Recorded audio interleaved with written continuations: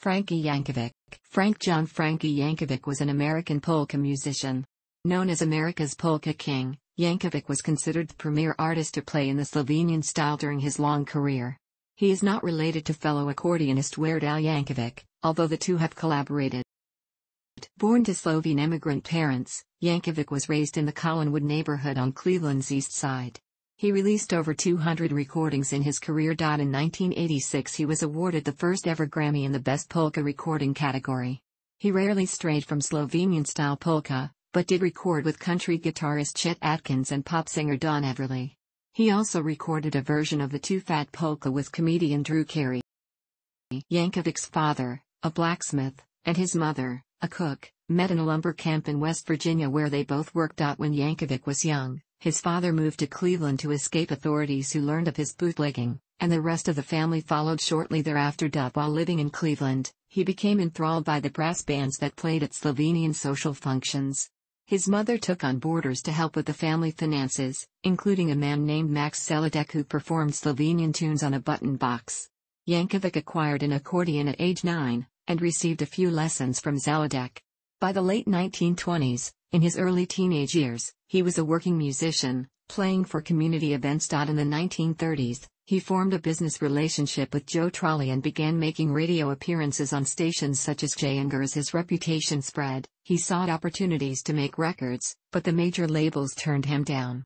His first records were made for the Yankee and Joliet labels operated by Fred Wolf, and the expenses were paid for by Yankovic himself. In 1940, he married his first wife June, and they began to raise a family. However, the expenses of family life quickly overcame the incoming money from his music career, so he opened a tavern, calling it the Yankovic Bar. It became a popular hangout for local musicians, and he continued to run it until he sold it in 1948, dedicating himself to the accordion.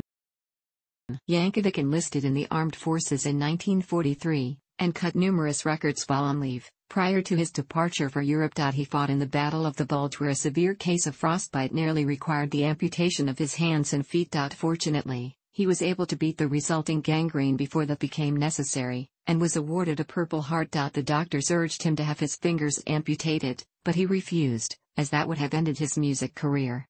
After getting out of the hospital, he and four other musicians were assigned to special services to entertain the troops, including General George Patton and his 3rd United States Army. Yankovic hit the national scene when he earned two platinum singles for Just Because and Blue Skirt Waltz.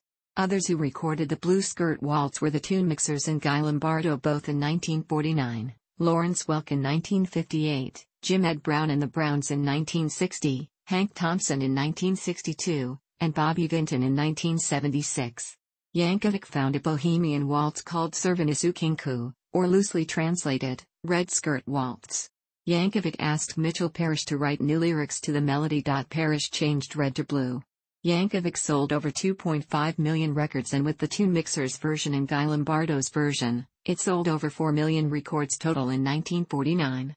It was the second Cleveland-style song to sell over 1 million recordings. Columbia Records initially refused to record just because, because other versions of the song had been around for years without much success, only allowing it when Yankovic said that he would buy the first 10,000 records. Yankovic obtained the title of America's Polka King after beating Louis Bashell, Romy Gosz, Harold Loeffelmacher and the Six Fat Dutchmen, Whoopee John Wilfahrt, and Lawrence Duchow in a battle of the bands in Milwaukee at the Milwaukee Arena on June 9, 1948. In 1970, a house fire destroyed the gold records for Just Because and Blue Skirt Waltz. Yankovic also hosted the television series Polka Time for Buffalo, New York-based WKBW-TV for 26 weeks in 1962. He commuted from Cleveland to host each episode, which aired live. He also hosted a similar show at WGN-TV Chicago at about the same time. He won a Grammy Award in 1986 for his album 70 Years of Hits. He was the first winner in the polka category. The NARAS organization dropped the category in 2008. He performed with musical comedian and fellow accordionist Weird Al Yankovic, although the two are not related. Al, who also performs polka music among many other styles, has jokingly hypothesized that he was given accordion lessons as a child because his parents thought that there should be at least one more accordion playing Yankovic in the world. Al performed accordion on Who Stole the Kishka? On one of Frankie's final records, Songs of the Polka King, Volume 1. A portion of Frankie's The Tick-Tock Polka is included in the song Polka Face on Weird Al's Alpocalypse. It was used as a lead-in for Weird Al's take on Tick-Tock by Kesha.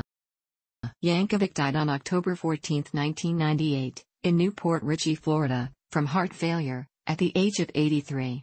He is buried in Cleveland's Calvary Cemetery. Hundreds of friends, family, his loyal fans and fellow musicians attended his memorial service. At his peak, Yankovic traveled extensively and performed 325 shows a year. He sold 30 million records during his lifetime. In Bob Dolgan's 2006 biography of Yankovic, Frankie's longtime drummer Dave Womack observed that Yankovic didn't have a street named for him in his own hometown. This launched a campaign by the National Cleveland Style Polka Hall of Fame and Museum and City Councilman Michael Polensek, and in a ceremony on August 21, 2007, the square at the intersection of Waterloo Road and East 152nd Street in Cleveland, not far from where Yankovic grew up, was named in his honor. Thanks for watching.